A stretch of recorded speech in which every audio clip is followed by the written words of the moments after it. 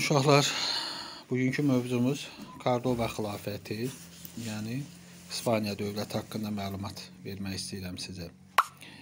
Keçən dərslərimizdən aydındır ki, Ərəb sərkərdəsi Tariq 711-ci ildə Şimali Afrikadan Pirney yarımadasına daxil olur və İspaniyanı fəth edir. Deməli, ərəblər sərkərdə Tariqin başçılığı altında 711-ci ildə İspaniyanı Pirney yarımadasını fəth etdilər və onun keçmiş olduğu boğazda ona görə də Tariqin adı ilə Cəbəli Tariq boğazı adlanmış olur. Və ərəblər Pirney yarımadasını e, fəth etməklə orada 711-dən 1492-ci ilə qədər İspaniyada ərəb hakimiyyəti dövrü başlayır. Ərəblərin Avropaya hücumunun qarşısını isə franklar alır. Belə ki, 732-ci ildə ərəblər İspaniyadan Avropaya doğru getmək istəyəndə Frank hökmdarı olan Kral Martellə ərəblər arasında indiki Fransa ərazisində, keçmişdə Qalliya adlanırdı. Həmin ərazidə döyüş baş verir. Poitiers döyüşü 732-ci ildə. Burada Frank kralı e, qalib gəlmiş olur. Yəni Kral Martel bu döyüşdə qalib gəlir Poitiers döyüşünə və bununla da ərəblərin Avropaya hücumunun qarşısı alınmış olur. 756-cı ildə ərəblər İspaniyada Kordova xilafət dövlətini yaradırlar. Deməli, xilafətdən ayrılan ilk ərazi İspaniyadır. 756-cı e, ildə dediyim kimi İspaniya ərəblərdən xilafətdən ayrıldı və orada müstəqil Kordova xilafət dövləti yarandı ki, bu dövlət 756 və 1030-cu e, illəri əhatə edir. Deməli, Kordova xilafət dövləti neçənci illərdə mövcud olur? 756-cı ildən 1030-cu ilə qədər olan dövr bu Kordova xilafətinin mövcud olduğu dövrdür. Deməli, ərəblər İspaniyaya Əndəlüs deyirdilər. Nə adlanırdı? Əndəlüs adlanırdı. Ona görə ki, e, İspaniyada olan bir vilayətin adı Əndəlüs idi. Buna görə də ərəblər İspaniyaya Əndəlüs deyirdilər. Kordova xilafətinin paytaxtı Kordova şəhəridir. Əhalisi əsasən ərəblərdən, veskotlardan, bərbərlərdən və yahudilərdən ibarət idi. Kordova şəhəri dediyim kimi paytaxt idi və ə, e, Avropanın ən mühüm elm və mədəniyyət mərkəzi hesab edilirdi. Bu əmirlik 1030-cu ilə qədər davam etdi. 1030-cu ildə Kordova xilafəti müxtəlif əmirliklərə parçalanmış olur.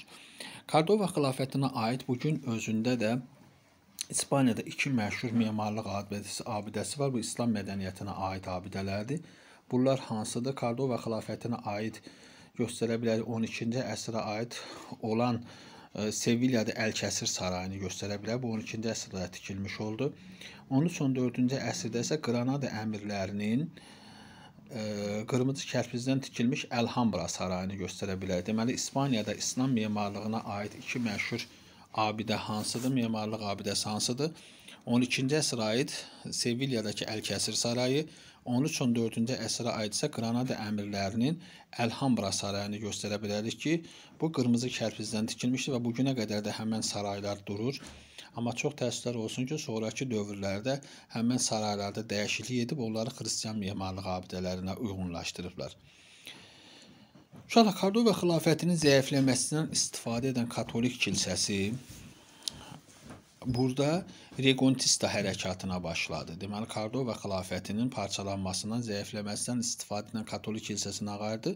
Burada Regontista hərəkatına başlamış oldu ki, Regontista nə deməkdir? Regontista Piriney yarımadasından ərəblərin, müsəlmanların qovulması hərəkatı Regontista adlanmış olur ki, bu hərəkat 11-15-ci əsrləri əhatə etdi və hərəkat nəticəsində İspaniyada Kastiliya, Araqon və Navarra krallıqları, 12-ci əsrdə isə Portuqaliya krallığı yarandı. Deməli, Reconquista nəticəsində 11-15-ci əsrləri əhatə etdi. Nəticədə e, İspaniyada hansı dövlətlər yarandı?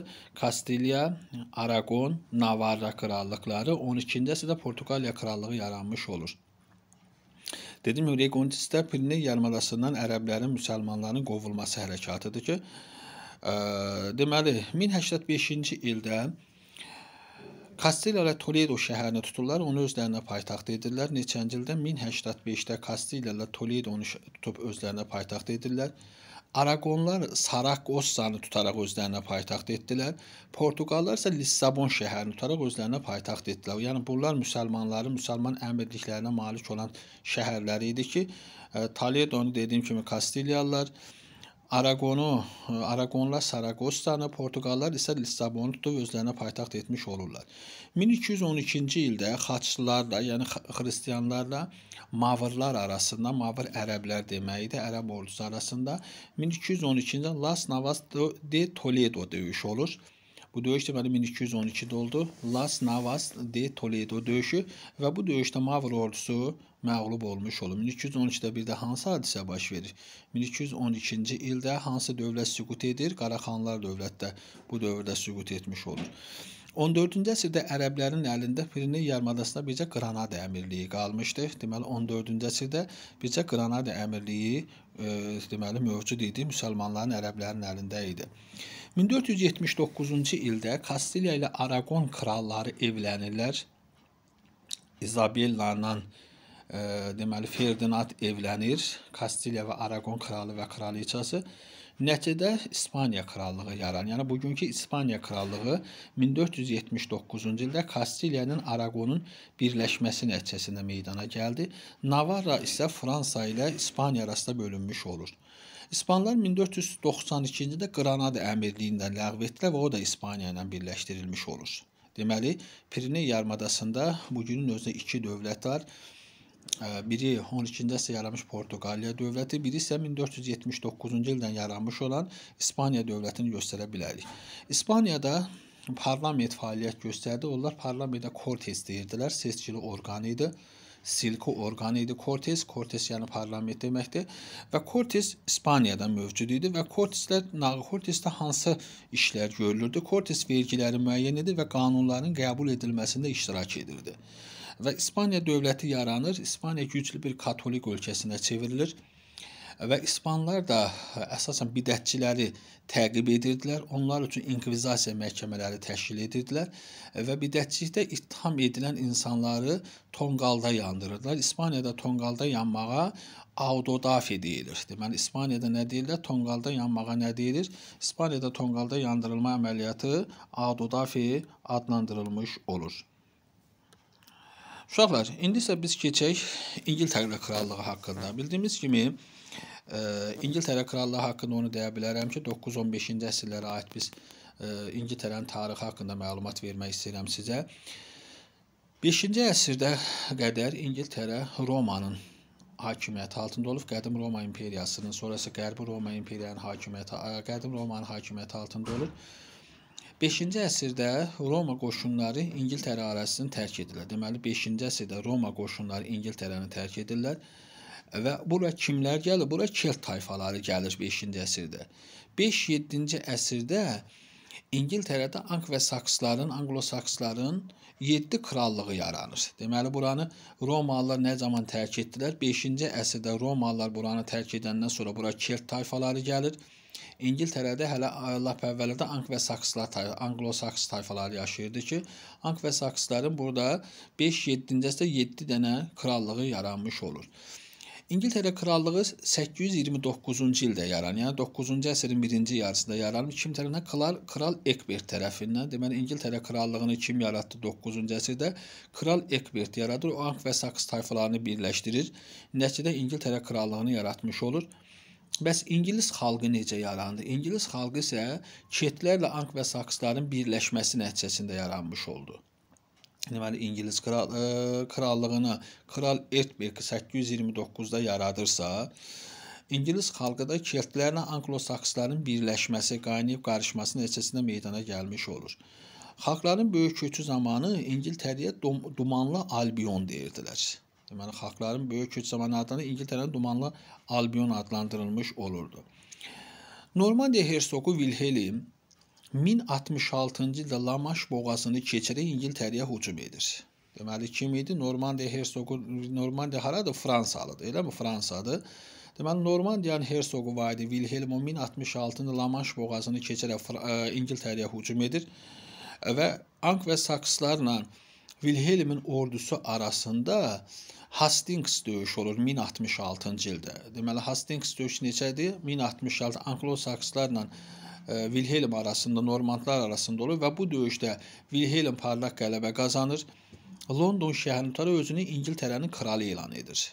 Deməli, əgər İngiltərədə krallığın əsası 9-cu əsrdə kral Ekbert tərəfindən qoyulursa, İngiltərədə mərkəzləşmiş dövlətin əsasını kim qoydu? Wilhelm. Wilhelm 1066-cı Hastings döyüşündə Anglo-Sakslara qalib gəlib Londonu tutur özünü İngilis kralı elan edir. Bununla da İngiltərədə mərkəzləşmiş dövlətin əsası qoyulur. Yəni 11-ci əsrin ortalarında 1066-da bizdə hansı hadisə baş vermişdi? 1066-cı ildə Səlcuqlar Şirvanşahları tabe etməklə bütün Azərbaycan torpaqlarını vahid dövlətin ətrafında birləşdirə bilmişdi. Wilhelm Londonu tutub özünü İngilis kralı elan edir və bu qələbəyə görə özünə Fatih adını götürür. Ona Fatih Wilhelm deyirdilər. O İngiltərədə deməli bütün torpaqların 7də 1 hissəsini özünə götürərək ən böyük torpaq sahibinə çevrildi. Deməli İngiltərədə Wilhelm bütün torpaqların 7də 1 hissəsini özünü ən böyük torpaq sahibinə çevirmiş oldu. 1086-cı ildə o xüsusi qanun qəbul etdi. Bu qanuna əsasən o əhalinin əmlakını və özlərini siyahıya aldı. Deməli 1086-cı il qanuna görə kimlər siyahıya alındı? Əhali və əmlakı siyahıya alındı. Və bu qanunda göstərilirdi ki, əhali dövlətə töycü vergisi verməli, eyni zamanda kilsə üçün də onda bir vergisi verməlidir.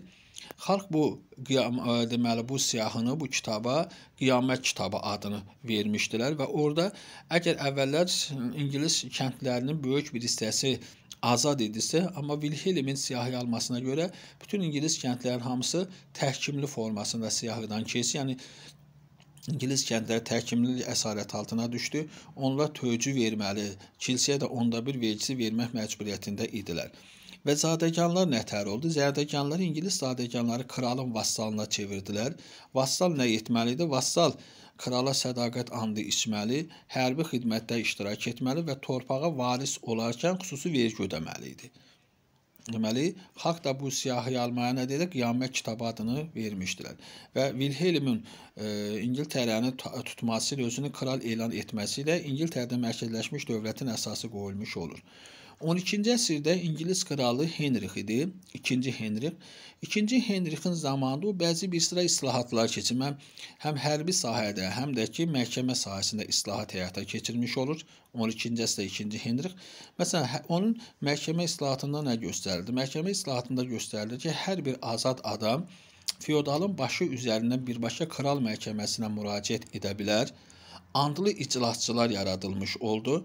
Məhkəmədə hökmü və bəraəti məhz e, münsiflər heyəti verməli idi. Yəni bununla ilk dəfə olaraq dünyada ilk dəfə olaraq andlı iclasçılar meydana gəlməyə başladı. Bu hardasa demək olar ki, demokratik bir məhkəmə islahatı kimi onu götürmək olar. Və onun hərbi islahatında nə göstərilirdi? Belə ki, biz öyrəndik ki, 1086-cı il Wilhelmin siyahı almasına görə zadəganlar nə etməkdə? Hərbidə xidmət etməyə məcbur idilər. Amma 2-ci e, Henrixin keçirdiyi islahata görə zadəganlar hərbidə xidmət etməyə də bilərdilər. Və bunun müqabilində kim ki orduda xidmət etmək istəmirdi, bunun müqabilində o qalxan pulu adlanan xüsusi vergi ödəməli idi. Və 2-ci Henrix də e, deməli bu yığılan bu verginin hesabına daimi muzlu ordu saxlaya bilirdi. Deməli, Henrixin məhkəmə islahatı və hərbi islahatı haqqında məlumat əldə edə bildik. İngiltərədəki kral hakimiyyəti uşaqlar Fransadakından güclü idi. Deməli, nəyə görə İngilislərcə kral hakimiyyəti Fransadakından güclü idi? Birincisi, e, İngiltərədə şəhərlərin əksəriyyəti kral torpaqlarında yerləşirdi və şəhərlər də kralı müdafiə edirdilər. Hətta onlar deyirdilər ki, 100 müstəbiddənsə birinin olması yaxşıdır. İkincisi İngiltərənin daxili və xarici ticarəti inkişaf etdirmişdi. Deməli, bax bu iki səbəb şəhərlərin əksəriyyətinin kral torpaqlarında yerləşməsi və onların da kralı müdafiə etməsi, eyni zamanda İngiltərənin daxili və xarici ticarətinin inkişaf etməsi İngiltərədə kral hakimiyyətinin möhkəm olmasına səbəb olur. Yəni Fransadakı nisbətən İngiltərədə kral hakimiyyəti çox güclü idi. 1215-ci ildə Londonda üsyan olur və üsyandan sonra İngilis kralı Azadlıqlar Xartiyası adlanan belə bir e, xartiya qəbul edir və o bu xartiyada azad əhalinin hüquqlarını müdafiə etdi. Deməli 1215-ci ildə üsyan baş verir Londonda. Kral azad əhalinin hüquqlarını müdafiə edən Azadlıqlar Xartiyası adlanan xartiya qəbul etdi. O burada azad əhalinin hüquqlarını müdafiə edirdi. Nəticədə Kral Şurası yaradıldı ki, bu da parlamentin sələfi hesab edilmiş olur. Deməli parlamentin sələfi nə idi? Kral Şurası. Nə zaman yaranmışdı? 1215-ci ildə. Şöyle İngiltərədə ilk parlament 1265-də yaranır. Deməli nə zaman? 1265-də olur. 1265-də bizdə hansı hadisə baş verir? 1265-ci ildə Hülakü xan Dərbəndi Qızıl Ordalılardan geri alır və buna görə də ona Elxan rütbəsi verilir ki, Hülakülər 1265-dən Elxanlar adlanır. Deməli İngiltərədə ilk dəfə parlament nə zaman qəbul edildi? Yaradılır 1265-ci ildə yaradılmış olur. Və 1343-cü ildə isə, bağışlayın bura 1200 yazılıb, 1343-cü ildə isə İngiltərədəki parlament iki palataya bölünmüş oldu. Nə zaman bölünür?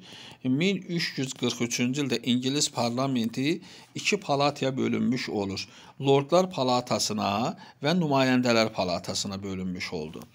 Lordlar palatasına hər qraflıqdan 2 nəfər, 2 e, zadəgan olurdusa, e, nümayəndələr palatasına isə hər şəhərdən 2 nəfər şəhərli, hər qraflıqda 2 cəngavər seçilmiş olurdu. Deməli, Lordlar palatasına ruhanilər, əyyanlar daxil idi.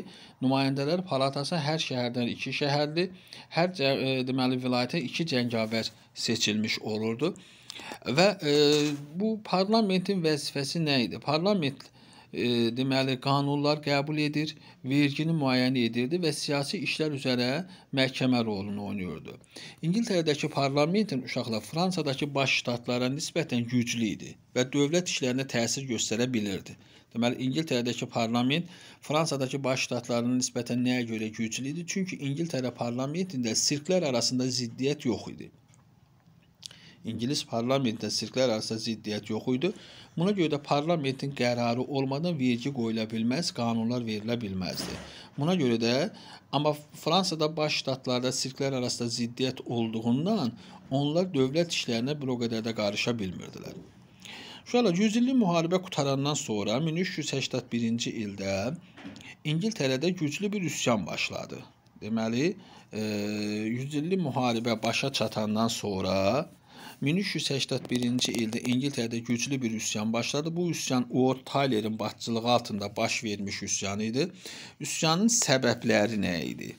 Deməli 1381-ci ildə Lord Tylerin başçılığı altında üsyan başladı. Üsyanın səbəbləri feodal zülmünün güclənməsi, amansız qanunların qəbul edilməsi, vergi və mükəlləfiyyətlərin artırılması. Bu Uotaler üsyanının səbəbləri idi. Nə idi? Feodal zülmü güclənmişdi, amansız qanunlar qəbul edilmişdi və vergi və mükəlləfiyyətlər artırılmışdı. Və belə bir şəraitdə 1381-ci də o Talerin üsyanı baş vermiş olur və üsyançıların tələbi nə idi? Onlar torpaqdan istifadə haqqlarının azaldılmasını, təhkimçiliyin və biyarın ləğv edilməsini istəyirdilər. Torpaqdan istifadə haqqlarının azaldılmasını, təhkimçilik və biyarın ləğv edilməsini istəyirdilər. O dövrdə İngilis kralı Tower qəsrində idi və üsyançılar Tower qəsrinin qarşısına gedərək öz tələblərini verirlər Və kral bunlara bildirir ki, mən sizin tələblərinizi yerinə yetirəcəm, dağılıb gedin. Üsyançıların bir çoxu dağılıb getsə də Uolt Tyler və onun yaxın adamları dağılmadı. Onlar ikinci dəfə kralla görüşmək istədilər.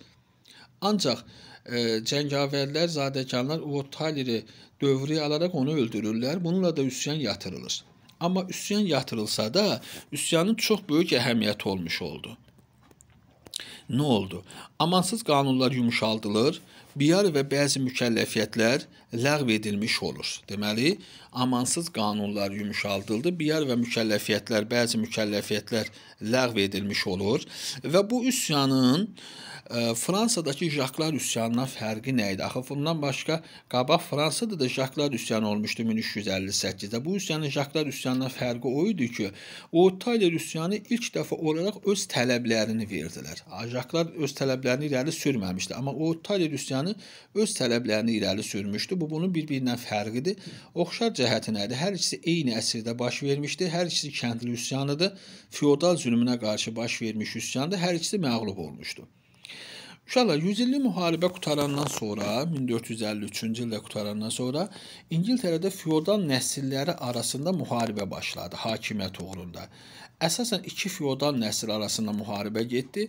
Bunlara al qızılgül və ağ qızılgül deyirlər. Çünki onların birinin bayrağında al qızılgülün şəkli, birində isə ağ qızılgül şəkli var idi və bunlar hakimiyyət uğrunda düz 30 il müharibə aparırlar. 1455-1485-ci illərdə İngiltərə feodal qrupları arasında müharibə getdi. Müharibənin adını mən sizə dedim. Və bu müharibə 1485-ci ildə Tudorların hakimiyyətə gəlməsi ilə başa çatdı. Belə ki, 1485-ci ildə bir çox feodal ailəsi məhv ediləndən sonra 7-ci Henrik Tudor hakimiyyət başına gəlir. Deməli bu mübarizədə Tudorlar qalib gəldi və onun ilk nümayəndəsi 7-ci Henrik oldu ki, o 1485-ci ildə hakimiyyət başına gəlir. Nəticədə 1485-dən 1603-cü ilə qədər İngiltərəni Tudorlar idarə etdi. 1485-1603 ilk nümayəndəsi 7-ci Henrik Tudordursa, sonuncu nümayəndəsi Yelzaveta olmuşdu. 7-ci Henrik Tudor hansı tədbirləri görür?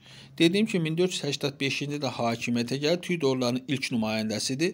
O, İcmalar Palatasının hüquqlarını azaltdı, tabe olmayan bir çox feodalları məğlub edib məhv etdi. İngiltərədə mütləq monarxiyanın qurulmasının əsasını qoyur. Deməli, əgər mərkəzləşmiş dövlətin əsasını 11-ci əsrdə Wilhelm qoydusa, Norman Hersoqu, İngiltərədə mütləq monarxiyanın əsasını da kim qoydu? 15-ci əsrin sonlarında 7-ci Henrik deməli, mütləq monarxiya quruluşunun əsasını qoymuş olur. Şöyle, e, İngiltərədə ilk manufaktura 16-cı əsrdə meydana gəldi. Deməli, ilk manufaktura nə zaman yarandı İngiltərədən? 16-cı əsrin əvvəllərində meydana gəlməyə başladı və manufakturalar əsasən burada yun parça istehsalında e, deməli toxuculuq sahəsində yun parça istehsalında, yun istehsalında meydana gəlməyə başladı.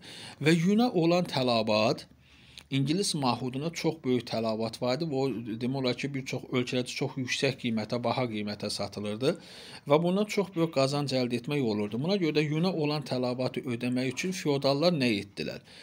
Yuna olan tələbatı ödəmək üçün feodallar kəndlərə payladıkları torpaqları onların əllərindən aldılar və həmin torpaqları otlaq sahəsinə çevirdilər kəndlilərə əvvəllər paylamış olduğu torpaqları, əkin üçün payladıkları torpaqları kəndlinin əlindən alıb həmin əraziləri otlaq sahəsinə çevirməyə başladılar və bu hadisə e, İngiltərə tarixinə çəpərləmələr kimi daxil olub. Deməli 16-cı əsr İngiltərə tarixinə çəpərləmə kimi də daxil olmuşdu.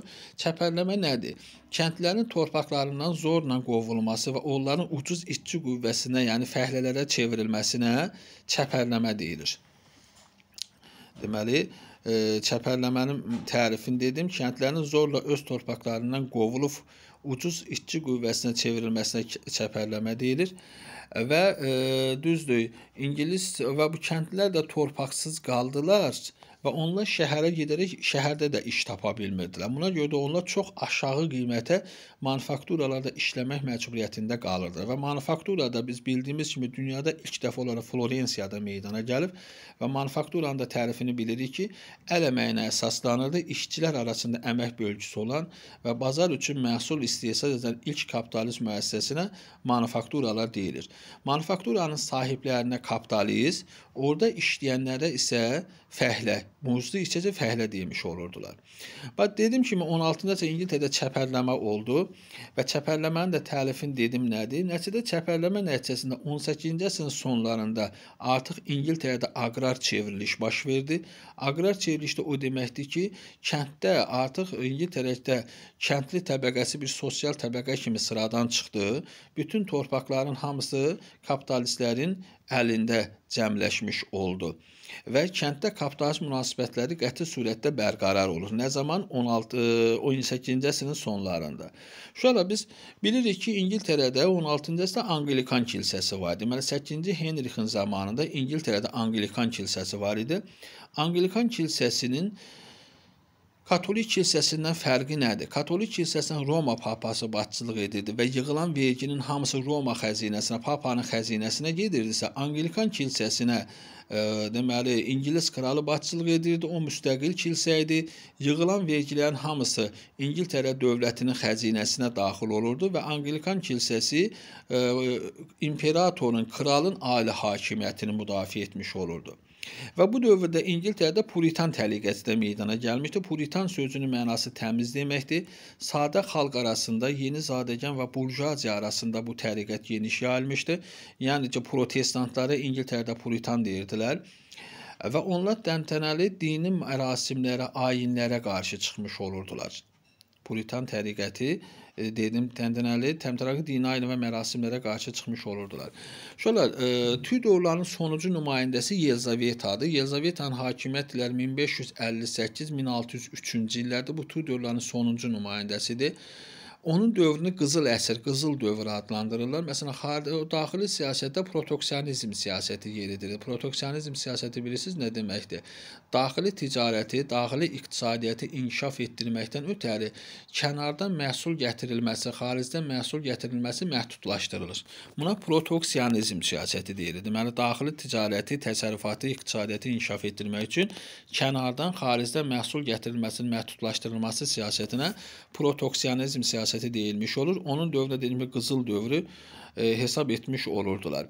Bu dövrdə, yəni 16-cı əsrdə İngiltərənin e, dənizlərdə əsas rəqibi e, deməli kim idi? İspaniya idi. İspaniya e, dənizlərdə ağalıq etmiş olurdu. İspaniyanın çox güclü donanması var idi, böyük donanması var idi və bu donanma məğlub edilməz armada adlanmış olurdu.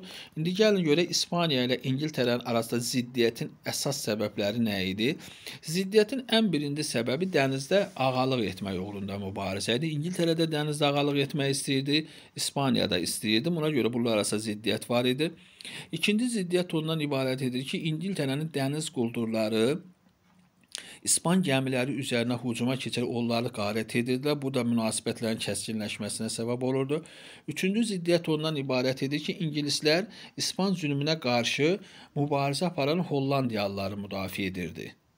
Nəhayət dördüncüsü isə İngiltərədə katolik azlıq var idi və İspanlar da bu İngilis katolikləri müdafiə edirdilər. Bax bu səbəblər İngiltərə ilə İspaniyanın ziddiyyətlərinin mübarizəsini kəskinləşdirmişdi. 4 səbəbi dedim, dənizdə ağalıq etmək istəyirdilər. İngilislər Hollandları müdafiə edirdilər. İngilis dəniz quldurları dənizdə İspan gəmilərinə hücum edib onları qarət edirdi. İspanlar da katolik ingilisləri himayə edirdi. Bu səbəblər onların münasibətlərini kəskinləşdirmiş oldu. Və nəhayət 1588-ci ildə La Manche döyüşü baş verir. İngil dona İngiltərə donanması ilə İspan donanması arasında La Manche döyüşü 1588-də olur. Bu döyüşdə İngiltərə ordusu, İngilis donanması İspaniyanın məğlub edilməz armadasını darmadağın etdi və bu döyüşün nəticəsində İspan donanması məğlub olur. Nəticədə dənizdə ağalıq tamamilə İngiltərənin əlinə keçdi və İngiltərə ən güclü dəniz dövlətinə çevrilir. Bax 16-cı əsr İngiltərə ilə Osmanlının oxşarlığı o nədir? Oxşarlığı odur ki, hər ikisi İspaniyanı məğlub edib. Belə ki, 1518-ci ildə Xeyrəddin Bar Barbarosun başçılığı altında Osmanlı donanması İspaniyanı məğlub etdi. Nəticədə Əlcəzairi fəth edir. 1588-də isə İngiltərə La-Manş döyüşündə məğlub edilməz armadanı məğlub etməklə dənizdə ağalığı ələ keçirməyə nail olur və ən güclü dəniz dövlətinə çevrilmiş olur. Bizim İngiltərə haqqında və İspaniya haqqında dərsimiz bura qədər.